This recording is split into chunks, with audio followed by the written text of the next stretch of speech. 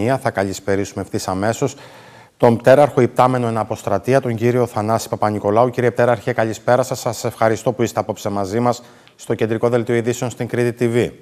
Καλησπέρα κύριε Δασκαλάκη, καλησπέρα σε όλους τους τηλεθεατές.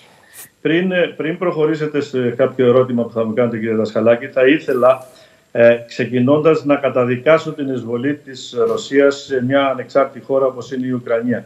Και το κάνω αυτή, αυτό το πράγμα διότι η Ρωσική Πρεσβεία σήμερα έχει κάνει ανάρτηση στο Twitter όπου εμφανίζει δική μου τοποθέτηση σε μεγάλο τηλεοπτικό κανάλι των Αθηνών που εκπέμπει πανελληνίως προτρέποντας τους πάντες να ευθυγραμμιστούν προς αυτήν την τοποθέτηση που είχα κάνει εγώ. Ε, θέλω λοιπόν να ε, να ενημερώσω ότι η τοποθέτησή μου ήταν πάντα στα πλαίσια της αντικειμενικότητας και αυτά που είπα δεν είχα ποτέ καμία πρόθεση να τοποθετηθώ είτε από τη μία πλευρά είτε από την άλλη πλευρά. Ουσιαστικά δηλαδή έχω... θεωρείτε ότι η ρωσική πρεσβεία προσπάθησε να παραφράσει αυτά που είπατε για να δημιουργήσει όχι, εντυπώσεις. Όχι να παραφράσει. Προσπάθησε, προσπάθησε την δική μου τοποθέτηση να την εμφανίσει επειδή συνέπεσε να είναι αυτά τα οποία ελέγχθησαν να, είναι, να, να εξυπηρετούν τα συμφέροντα της Ρωσίας αλλά αυτό δεν ελέγχθη μόνο και μόνο για να βοηθήσω εγώ την κατάσταση εξυπηρετώντας τα, τα, ρωσικά συμφέροντα.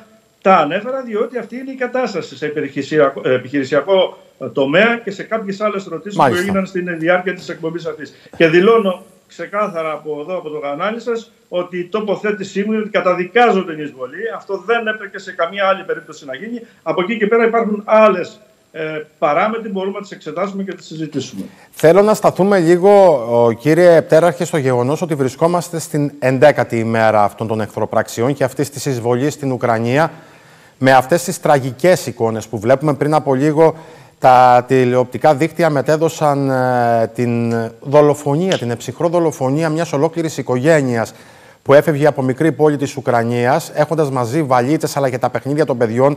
Είναι αυτές οι εφιαλτικές εικόνες που καταγράφονται στους πολέμους. Και θέλω να μου πείτε, έχει πέσει έξω η μαχητικότητα των Ρώσων και το μαχητικότητα το βάζω σε εισαγωγικά γιατί εξ αρχής ακούγαμε ότι φαινόταν ένα εύκολο παιχνίδι η κατάληψη της Ουκρανίας. Όμως βλέπουμε μια Ουκρανία να αντιστέκεται και να αντιστέκεται στεναρά.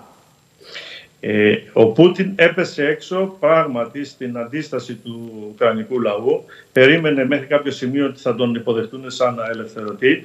Ε, πρώτον αυτό και δεύτερον έπεσε έξω στην ε, την τεράστια αντίδραση που υπάρχει από τη Δύση και την ε, βοήθεια που προσφέρει η Δύση με τον τρόπο που προσφέρει στην Ουκρανική κυβέρνηση.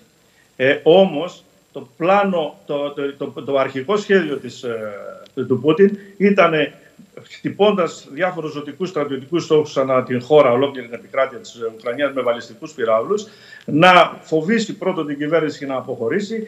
Και είμαι βέβαιος ότι στο μέλλον θα φανεί ότι είχε γίνει και κάποια ενέργεια με ειδικές δυνάμεις προκειμένου να συλλάβουν να σκοτώσουν τον Ζελέσκι. Όταν αυτό απέτυχε, προχώρησαν προς το πλάνο B, το οποίο πλάνο B ήταν μαζικές επιχειρήσεις με τον τρόπο που γίνονται και εξελίσσονται αυτές τις μέρες. Στις πρώτες μέρες χωρίς τη συμμετοχή την μεγάλη της ε, πολεμικής αεροπορίας, ε, χρησιμοποιώντας πυράβλους και ε, στρατεύματα στο έδαφος, κυκλώνοντας τις πόλεις και από εδώ και πέρα. Και οφείλουμε να το ομολογήσουμε αυτό, και αυτό είναι αλήθεια, ότι πράγματι η Ρωσία σέβεται τους αμάχους και θέλει οι άμαχοι να αποχωρήσουν και στη συνέχεια να προχωρήσει στις, στις, για εγκατάλειψη των πόλεων. Εδώ λοιπόν θα πρέπει να το, να το ξεκαθαρίσουμε αυτό. Είναι αλήθεια αυτό το πράγμα. Αυτό που σας λέω είναι από από πηγές τις οποίες ε, έχουμε σε επαφή στην περιοχή της Μαριούπολης ναι, Κύριε Παπα-Νικολάου, οι εικόνες όμως που βλέπουμε δεν δείχνουν αυτό που λέτε. Δηλαδή, βλέπουμε εικόνες που σοκάρουν και βλέπουμε εικόνες και από Έλληνες δημοσιογράφους που δέχονται οβίδες. Πριν είδαμε σήμερα το πρωί την οβίδα που έπεσε 50 μέτρα από τηλεοπτικά δίκτυα και από ανθρώπους που προσπαθούσαν να φύγουν από πόλεις της Ουκρανίας αντιλαμβάνομαι ότι σε έναν πόλεμο δυστυχώς υπάρχουν και οι απώλειες των αμάχων.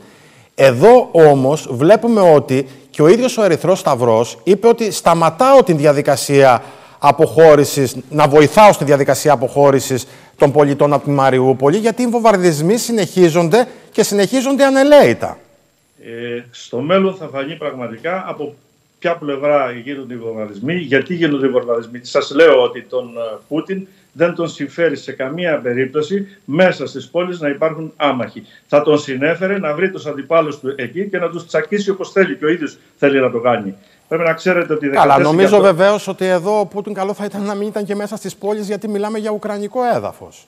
Σαφώς το καταδικάσαμε ευθύς εξ αρχής. Είναι μια εισβολή. Δεν έπρεπε να γίνει. Αν θέλετε την άποψή μου, το είχε πει και ο πρόεδρος Biden, θα ανεχόταν και η Δύση και η Αμερικανική πλευρά μια μικρής ε, διάρκειας και εκτάσεως επιχείρηση να ενσωματώσει τις δύο δημοκρατίες λαϊκές του Ντονέτς και του Λουγκάνσκ. Αυτό θα το ανέχονταν. Θα ανέχονταν ακόμα ενδεχομένως και κάποιον διάδρομο που θα δημιουργούνταν ε, μέχρι την Κρυμαία. Αυτά ήταν κάτι που τα είχαν στο πλάνο τους και οι Αμερικάνοι τα είχαν δεχτεί. Αυτό που έγινε δεν το περίμενε κανένας και αν θέλετε να σας πω και κάτι άλλο, τους πρόσβαλε τους δυτικούς ηγέτες ο τρόπος που τους συμπεριφέρθηκε ο Πούτιν. Να τους κοροϊδεύουν μέχρι την τελευταία στιγμή. Θυμόστε τον Μακρόν που πήγε και τον έβαλε στο απέναντι στην απέναντι μεριά του τραπεζιού, τον Σόλς το ίδιο, που τους έλεγε μέχρι την τελευταία στιγμή τη Ετερελή δεν πρόκειται να κάνουν κάποιο πόλεμο και οτιδήποτε άλλο. Τους κορόιδεψε. Δηλαδή αυτή η συμπεριφορά του Πούτιν, για να ξεκαθαρίσουμε, είναι αντίστοιχη συμπεριφοράς του Χίτλερ πριν από τον έναρξη του Δευτέρου Παγκοσμίου Πολέμου. Αυτά είναι ξεκάθαρα. Αλλά αυτά είναι άλλα και άλλα αυτά που γίνονται εκεί. Μην προσπαθήσουμε να δώσουμε μια εικόνα ότι οι Ρώσοι είναι αυτοί που σφάζουν και οι άλλοι είναι οι καλοί. Δεν ξέρουμε ακόμα τι γίνεται. Κύριε Πτέραρχε, θέλω να σας ρωτήσω το εξής. Ε, το χρονοδιάγραμμα το δικό σας, από τη δική σας εμπειρία, για αυτές τις εχθροπραξίες, για αυτήν την εισβολή, θεωρείτε ότι είναι θέμα χρόνου να ολοκληρωθεί ή θα πάμε σε μια παρατεταμένη διάρκειας ε, ένταση στην περιοχή. Βεβαίως, ακόμα και αν τελειώσουν οι εχθροπραξίες, ακόμα και αν τελειώσει η ρώσικη εισβολή, αντιλαμβανόμαστε ότι η επόμενη μέρα και για την Ουκρανία αλλά και για τη Ρωσία δεν είναι εύκολη. Το Plan B που σας ανέφερα θα, θα ολοκληρωθεί στις επόμενες, λέω εγώ, 10-15 μέρες να πούμε. Θα ολοκληρωθεί. Δεν υπάρχει περίπτωση με τις δυνάμεις που έχει διαθέσει και τις δυνατότητες που έχει η Ρωσία να μην το ε, φέρει σε πέρας. Και βλέπουμε ότι ο Πούτιν επιμένει.